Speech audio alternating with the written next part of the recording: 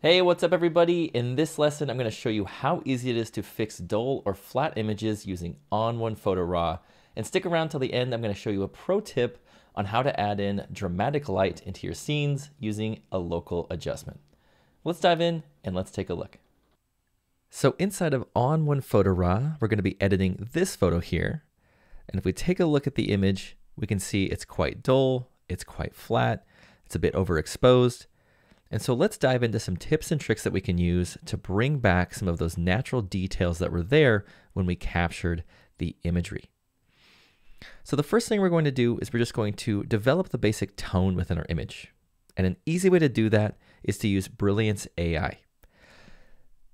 So I'm just going to go up to Brilliance AI here. I'm going to enable this. And what Brilliance AI is going to do is it's going to identify the different areas of the scene. It's going to examine the exposure and the tone of the image. And it's automatically going to modify our tone settings for us to develop the basic look of the image. And so if I hit the backslash key in my keyboard, we can see it's doing a really great job of just ensuring we don't have a dull, flat image. We've brought back more contrast into the photograph and we've lower the exposure a bit to fix that bright look within the scene. So if I go down into my tone and color section here, you can see it's modifying these sliders here to create this look. And so again, just an, an, incredibly fast way to just automatically develop the basic look of your image so that you can then continue on your workflow and start styling the image with effects and getting creative in those other ways. And the great thing about Brilliance AI is that you can fine tune it to fit the look of your image or adjust the results to get whatever look that you're going for within that particular scene. So if we go into Brilliance AI, we have this amount section here that we can use to adjust the strength of those AI modifications.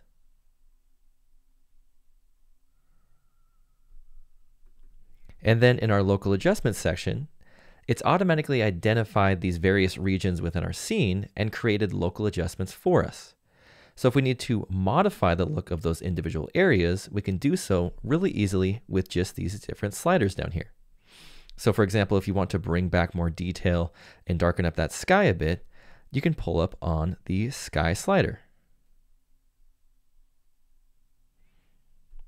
Or if you want to adjust the water to cool it down a little bit, you can pull up on the water slider there.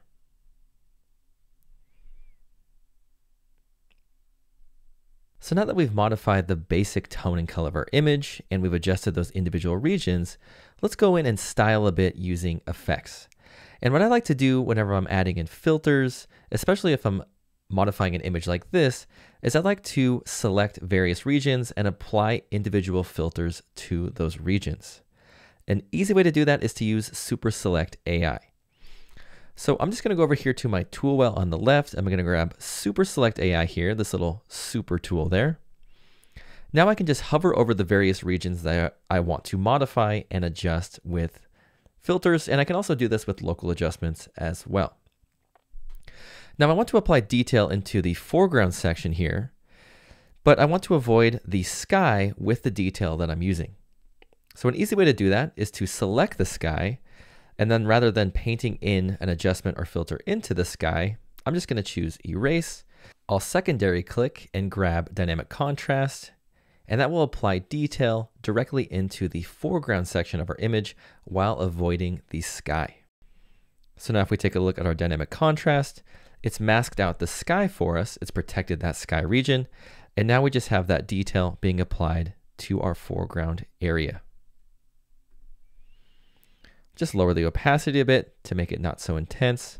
The great thing about ON1 Photo Raw is that everything is non-destructive, so you can always go back and readjust or reapply as needed to fit the look of the scene that you're going for.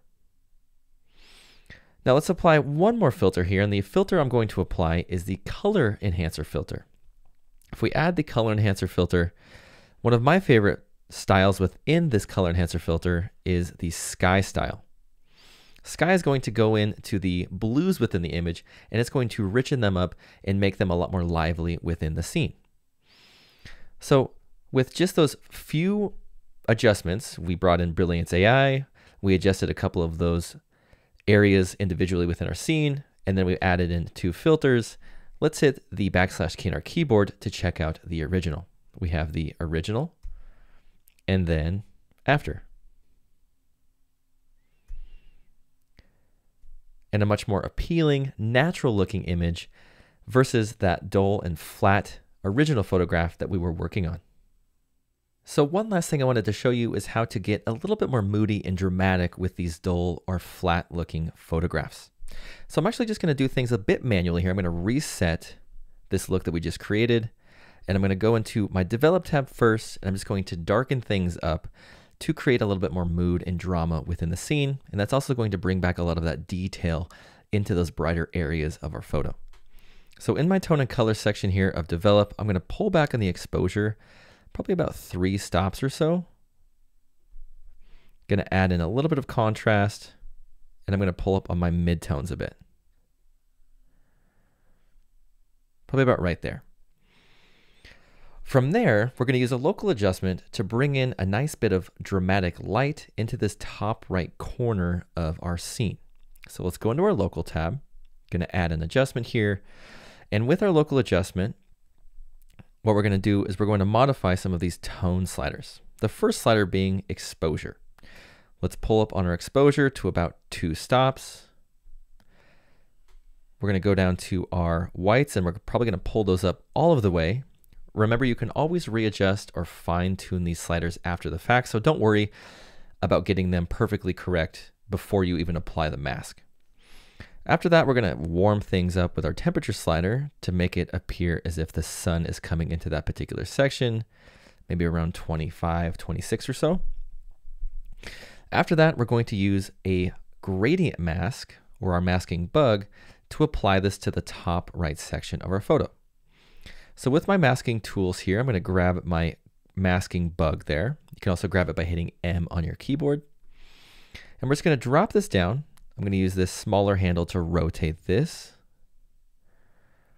I'm going to use this larger handle to bring this up quite a bit, just so it's kind of sitting on that very top right corner there. And then what I'm going to do is I'm going to grab this perforated edge here and I'm just going to feather this in and that's going to bring some of that light into the rest of the scene there. So now if I turn this local adjustment off and on, you can see it's doing a really great job of just bringing in that dramatic mood and dramatic light from that right part of the scene there. So if we hit the backslash key on our keyboard, we have the original and after. And remember, everything in Photo Raw is non-destructive, so you can always go back and fine tune your develop or local adjustments as needed to fit that scene. So if you need maybe a little bit more mood, you can darken things up. You can even brighten up your midtones some more. Or if you need to lower the opacity of that local adjustment, you can do that really easily just by modifying those sliders there. But I may actually go in and pull up on my exposure just a little bit more, just to make it even a little bit more dramatic there. Oops. But I think it's looking really good there, just as a quick moody dramatic edit. Again, let's check out the original and then after. And that's how easy it is to fix dull or flat images using ON1 Photo Raw. If you enjoyed the video, please subscribe to our channel to learn more about bringing life into your photography using ON1 products. Thanks so much, everybody. I'll see you in the next lesson.